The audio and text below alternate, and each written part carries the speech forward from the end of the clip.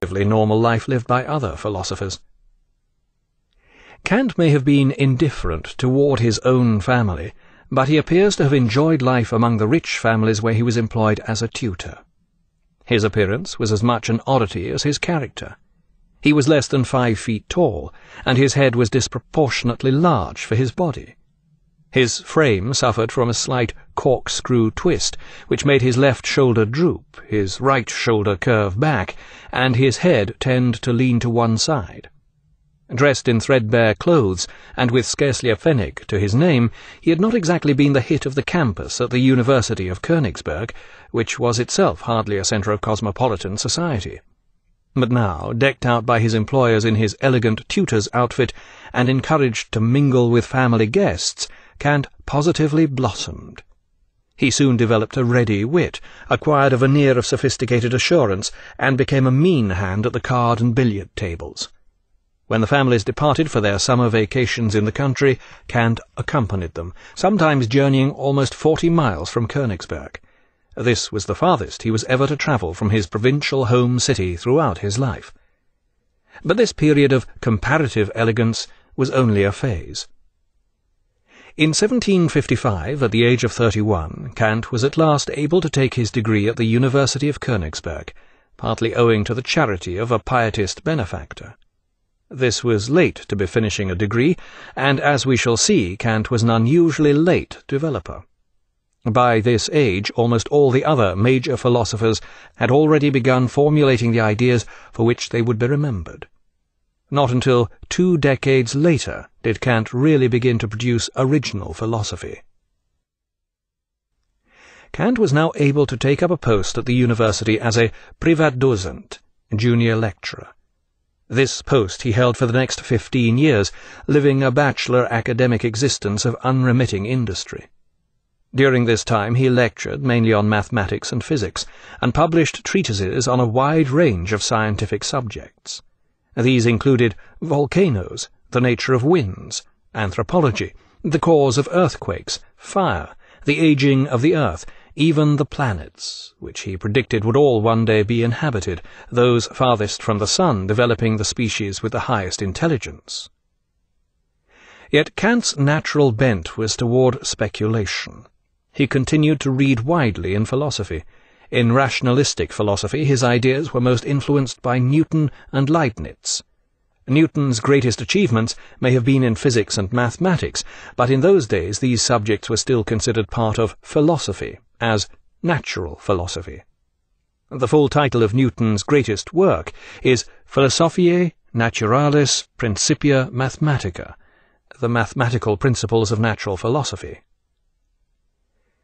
Kant studied Newton with sufficient thoroughness to propose a new theory of motion and rest, which opposed Newton's view. The fact that he had misunderstood Newton is not the point. He was being led to speculate on systems which encompassed the universe, and was willing to question the greatest intellect of the era on his own ground. According to Leibniz, the physical world of cause and effect proved the inner harmony of the world's moral purpose. Reading Leibniz, led Kant to see humanity as not only participating in nature, but over and above this, participating in the ultimate purpose of the universe. At the same time, Kant's interest in the philosophy of science led him to read the Scottish philosopher Hume. Kant was impressed by Hume's insistence on experience as the basis of all knowledge. This squared with a scientific approach. But Kant found himself unable to accept the sceptical conclusions that Hume drew from his rigid empiricism. According to Hume, all we experience is a sequence of perceptions. And this means that such notions as cause and effect, bodies and things, even the controlling hand of God the Creator, are all mere suppositions or beliefs. None of them is ever actually experienced. Surprisingly, Kant was also struck by the emotional appeal of Rousseau. The first of the Romantics, Rousseau was the most unacademic of all philosophers, believing in personal expression through emotion more than rational thought. His advocacy of liberty was to prove a heady inspiration for the French Revolution. Kant may have been an essentially dry character, but there was something in Rousseau that touched a chord in his deeply suppressed emotions. Beneath the facade of the prim academic, beat the heart of a closet romantic, and this was later to become apparent in his philosophy. But for the time being, all these disparate elements, Newton, Leibniz, Hume, Rousseau, remained just that. Not until Kant found a way of reconciling and absorbing these influences would he be able to produce original philosophy, and the enormity of such a task would take a long time. Perhaps Kant became impatient, for there now occurred an odd episode. Instead of publishing another serious academic work, Kant wrote a curious satirical book called Dreams of a Ghost Seer Elucidated by Means of Metaphysical Dreams.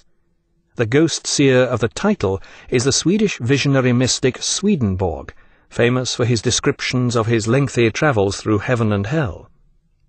In 1756, Swedenborg had published his eight-volume masterwork Arcana Coelestia, the Secrets of Heaven. Unfortunately, sales did not go well, and after ten years only four copies had been sold. One of these is now known to have been bought by Kant. These volumes of metaphysical mumbo-jumbo had a profound effect on Kant, enough to inspire him to write an entire book satirizing them. As Kant whimsically declares in his introduction, the author confesses with a certain humility that he was so simple-minded as to track down the truth of some tales of the sort mentioned. He found, as usual, where one has nothing to look for, he found nothing. Yet it soon became evident that Kant's mockery of the worst visionary of them all, and of sundry airy thought worlds hewn out of fraudulent concepts, is not quite what it seems. Beneath his consistent raillery and expressions of intellectual contempt is an unmistakable element of profoundly serious interest in Swedenborg. Kant longed to believe in metaphysics, even if not in quite such an extreme form, but his formidable intellectual development was beginning to close down this avenue. Kant's writing style is notoriously prolix and difficult, but by all accounts his lectures were quite the opposite. His body was so short and twisted that only his bewigged head, with its prim, precise features, was visible above the lectern. But this talking head was a font of wit, fascinating erudition, and ideas. Kant's lectures were a great hit, and his fame soon spread, encouraged by his stream of treatises on scientific subjects. His celebrated summer lectures on geography always attracted crowds from outside the university. These continued for over thirty years and established Kant as the first academic teacher of physical geography, despite the fact that throughout his life he never set eyes on a mountain and may never even have seen the open sea, which was almost twenty miles away. Kant's vivid and perceptive descriptions brought to life the wonders of the distant lands that he read about with such enthusiasm during the long winter evenings, when the freezing Baltic fog drifted in through the streets of remote provincial Königsberg. Kant now also began delivering lectures on philosophy and here it soon became apparent that he had journeyed far and wide through the hostile territories of ethics and epistemology, beyond the Ultima Thule of logic, and even into regions so remote from civilization as metaphysics, and had lived to tell the tale. Meanwhile, treatises on more amenable subjects, such as fireworks, military defence, and the theory of the heavens, continued to pour from his pen. Despite this, Kant was twice refused a professorship at the University of Königsberg. The reasons for this are unclear, but one suspects an element of provincial snobbery. Or perhaps they just didn't like him. Either way, Kant certainly liked Königsberg. When he was offered the prestigious post of professor of poetry at the University of Berlin, he turned it down.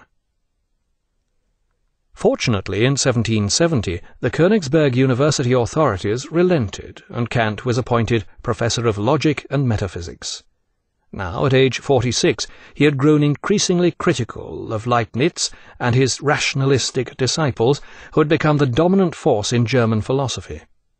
Hume's empiricism seemed undeniable, and reluctantly Kant even became convinced by Hume's skepticism objects, cause and effect, continuity, even the self, all these appeared to be fallacious notions. They remained beyond the reach of our experience, which was the only certain source of our knowledge. Kant accepted this because it seemed to him intellectually irrefutable. But he was not happy with this barren state of affairs. There appeared to be no further room for philosophy to continue. Was this really the end? Then this was late to be finishing a degree, and as we shall see, Kant was an unusually late developer. By this age, almost all the other major philosophers had already begun formulating the ideas for which they would be remembered. Not until two decades later did Kant really begin to produce original philosophy. Twenty miles from Königsberg. This was the farthest he was ever to travel from his provincial home city throughout his life. But this period of comparative elegance was only a phase.